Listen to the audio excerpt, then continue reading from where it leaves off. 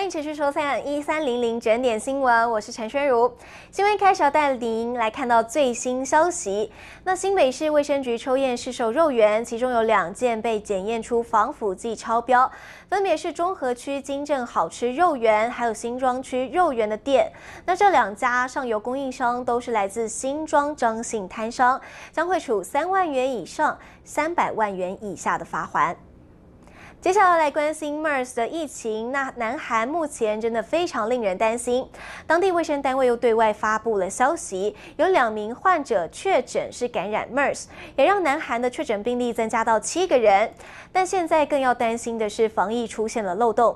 有一名疑似患者的四十四岁男子，礼拜二出境的时候是前往到中国大陆，所以南韩卫生局也紧急通报世界卫生组织跟大陆当局，现在就怕疫情会持续扩散。接着要来关心中山医学大学大四生张博威四年前独自登山失踪，那警消是找了五十一天都找不到，最后登山客却在两天内就找到了，家属就认为救难机制有问题，诉请国赔。那四年多来，张妈妈每天只睡几个小时，钻研国外救难制度，而且还亲自到南非来寻找案例，写下了百万字的报告。那最后家属是获得国赔。只需要来追踪山难事件，那为什么登山客两天就可以找到人？关键就在这个登山客黄国书，他是靠着多年经验，一进入山区就跟家属电话连线，把山上的背景风声放给最后跟张博威通话的女朋友听。他是靠着听声辨位的方式找到了遗体，而被判处是搜救不力的南投消防队，他们听到最后要国赔是觉得很无奈，因为呢，他们觉得说他们牺牲休假参与搜救。抹灭了他们的努力，对他们来说很不公平。再来看到琉球级渔船“明镜才六号”在台菲重叠海域被菲律宾公务船持枪拦截，那还好海巡署基隆舰是到场，那最后渔船是平安获释了。昨天晚间船长历劫归来，那是非常激动，就给了太太一个大大的拥抱。接着带您来关心政治焦点。台北市长柯文哲上任之后，就成立联委会追查五大案。那其中最具争议的大巨蛋案，现在已经公布第一阶段调查报告，是希望前台北市长马英九跟前财政局长李树德要移送检调。但联委宣称，第二阶段就要调查前台北市长郝龙斌。目前下个阶段调查时间还没有头绪。接着要来看到侯孝贤执导的电影《聂隐娘》是获得了坎城影展的最佳导演奖，但是这么高规格的电影到了立法院，竟然被窄化到只剩下两个字“文创”。今天国花费国发会副主委黄万祥就说，《聂隐娘》很可惜没有结合文创，让人觉得可悲又可笑。那包含作家张大春、主持人马世芳都纷纷在脸书开骂。再来看到总统马英九，昨天他才跟陆战队弟兄跑完三千公尺，今天又到新市国小陪小朋友慢跑。那接连两天下来呢，他还跟媒体说都不累。倒是今天他还特别送牛奶给师生，也被外界联想，这个动作是不是就是在力挺前台北市长郝龙斌的牛奶政策？自从推广电子发票之后，大家是越来越少捐发票了，比例甚至不到百分之一。所以财政部就找来基金会跟企业合作，推广顺手捐发票。只要在结账的时候跟店员说我要捐电子发票，就可以轻松做爱心。接着来看到，在今天凌晨一点多，台中市区一处大楼传出火警，那一千多名的住户在睡梦当中就惊恐逃出来。当时就有住户说了，看到监视器出现陌生车辆。那上午警方也公布了最新画面，确实有拍到可疑车辆，只不过很可惜没有拍清楚车牌。另外要来看到，在高雄市有名四十八岁的王姓女子，她因为记恨之前两位前男友始乱终弃，她就连续四次跑到这两位前男友家纵火，而且还放火烧车子。那警方最后抓到她，她就说，因为两位前男友在十年前欺骗她的感情，她实在不甘心，所以才会跑去纵火。但是这样的行为已经触犯了公共危险罪。谁需要关心女子纵火的案件。早上两位被害人，那他们是通通否认跟这名女嫌犯有过感情。那只是碰到这个女子预谋纵火，不只是车子毁了，就连住家门窗也被烧到。他们直呼太倒霉。转换心情，要来看到娱乐焦点。今年演艺圈喜事连连，大陆艺人黄晓明跟 Angelababy 爱情长跑五年多，两个人是常常晒恩爱。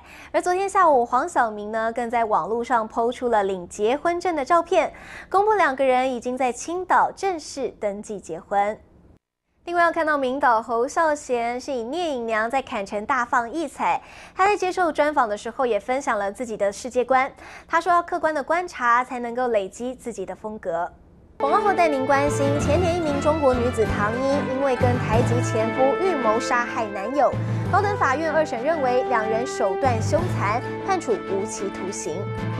蔡英文启程访美，虽然这次访问途经美国六大都市，但他的访问重点还是向美国行政部门说明他的两岸政策。更多新闻内容稍后回来。欢迎回到新闻现场。要来看到前年一名中国女子唐英，因为跟台籍前夫预谋杀害男朋友，那之后两个人就逃到大陆，但最后还是被抓回台湾。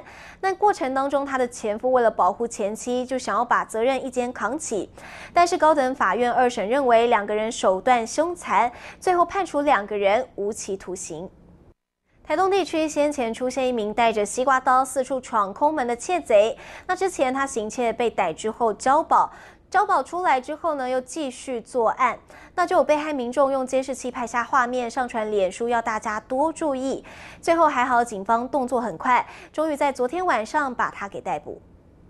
好，女生真的要小心哦！在台中市街头出现了一名雨衣男子，尾随国中女生回家。那他是一路跟到巷子里头，而且还跟对方搭讪，把女学生给吓坏了。警方调阅监视器画面，发现这一名男子身材微胖，戴着眼镜，而且在事发之前就已经在巷子口等女学生走过来，很显然是已经锁定目标。接着要带您关心政治焦点，民进党在礼拜二才发表了国防蓝皮书，是抛出了兵役制度，还有第四种军种网军等等愿景。那议题发酵短短两天，今天国民党团就大动作召开记者会，批评政策太空泛，蔡英文根本就是名副其实的空心菜。好，要看到蔡英文访问美国，总共十二天，途经美国六大都市。那他的访问重点还是在向华府，那用意呢是要向美国行政部门说明他的两岸政策。房地合一税政院版上周通过，不过担心这个会期没有办法进立法院顺利通关。正大地震教授跟民间团体早上就拜会国民党团，要求自家立委赶快审议，尽速通关。地震学者跟民间团体早上拜会国民党团，国民党副主席郝龙斌也到场，确立国民党对房地合一表达支持立场。那同时，他们也拜会了民进党、台联党等立院四大党，也都一一拜会，朝野都。都表示愿意支持，渴望周五送院会一读。如果本会期通过的话，最快明年初就可以实施。再来要看到毕业季就要到了，应届毕业生也要涌入职场。那今年因为产业缺工，五月份工作机会就高达六十六点七万个，创下历史新高。那新鲜人到底要怎么样求职是有技巧的？赶快来看看。接着要来看到，在大陆南京出现了离谱驾驶，他开着一辆运送废弃物的小货车行驶在高架道路上，车子突然起火燃烧，但是这个驾驶发现之后，他没有赶快停车灭火，反而是继续开上路，那整辆货车就像一个大火球，让大家看了非常害怕。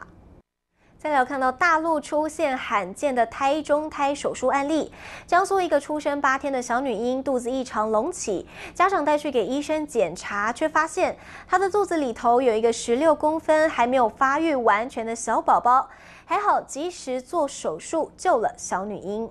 广告后带您关心国外流传了一则消息：如果 iPhone 使用者收到一条特殊字体写成的符咒，可能会让 iPhone 崩溃重开。但这是真的吗？台中一名 BRT 快捷巴士女驾驶被乘客直击，边开车边用对讲机聊天，一路聊了十一站，被批评实在太夸张。更多新闻内容，休息一下，稍后回来。欢迎回到新闻现场。你的手机是用哪一个牌子呢？现在外国呢有网友流传一项消息，如果是 iPhone 的使用者收到一个特殊字体所写成的符咒，很有可能会让 iPhone 崩溃重开。而且英国媒体还绘声绘影报道了这项消息，但到底是不是真的？一起来看看。